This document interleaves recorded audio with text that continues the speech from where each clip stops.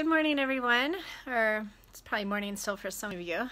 Um, thank you for being on my page and for sharing this post. I wanted to pop in and just share with you the just magical energy coming um, from this painting altar.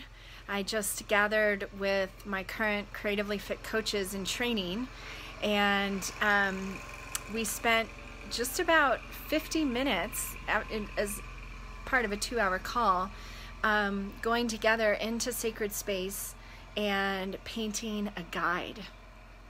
And the painting, oh, you can see lots of guides.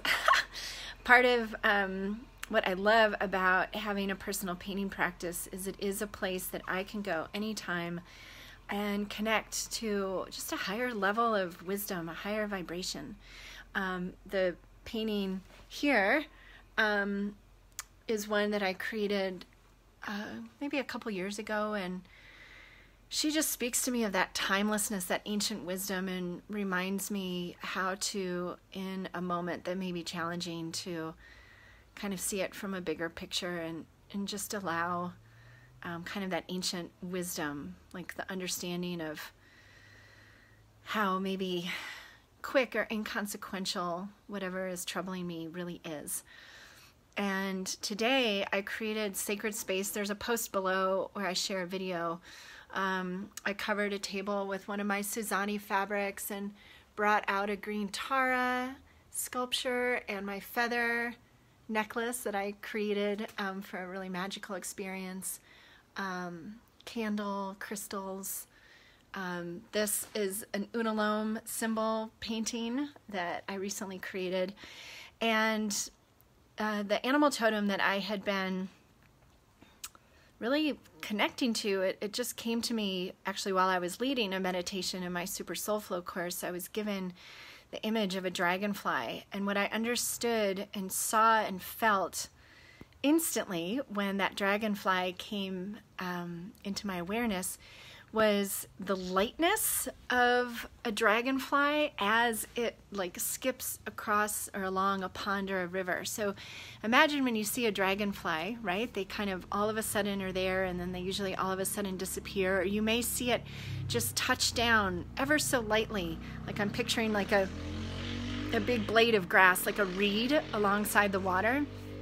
And the dragonfly touches down on it and it's almost like the reed doesn't even move. The grass or the flower or the lily pad or whatever is just barely changed or touched by the dragonfly. Their their landing is so light.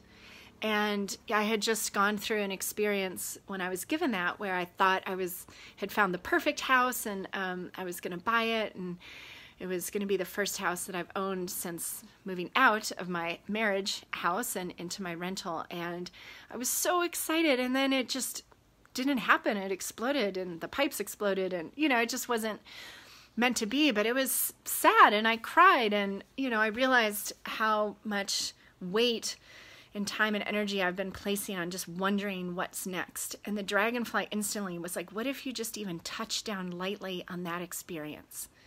Like just, you know, you kind of have to feel it, right? So, so this painting today um, was my dragonfly guide. So she has kind of a dragonfly above her head and the body going down through her face and then kind of her crown or headdress or hair echoes the dragonfly wings. And she's just reminding me that, for me at least, um, really honoring, cultivating a lightness of being and not taking myself and life so seriously, perhaps will serve me in these transitional, dynamic times. Thank you for the hearts. So I just wanted to share this with you. Um, my Creatively Fit coaches and I are just passionately committed to guiding you into a personal creative practice that can be easier to find the present moment than meditation, that can result in you remembering the truth that you are creating your reality in every moment, that the real art you're creating is your life.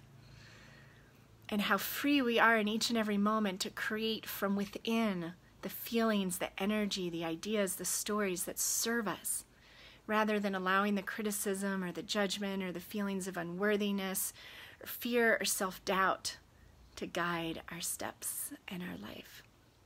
If you have been kind of thinking about the Creatively Fit coaching, you want to be sure to share your email at whitneyfreya.com because um, the next training starts in October.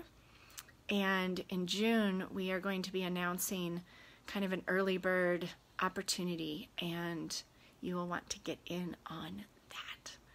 Okay, everyone, have a magical Monday.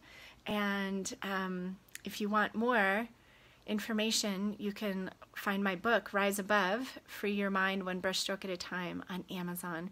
Um, go to the link in the bio for all the ways that we can connect and create together. And I just leave you with Dragonfly Goddess and whatever she is speaking to you right now.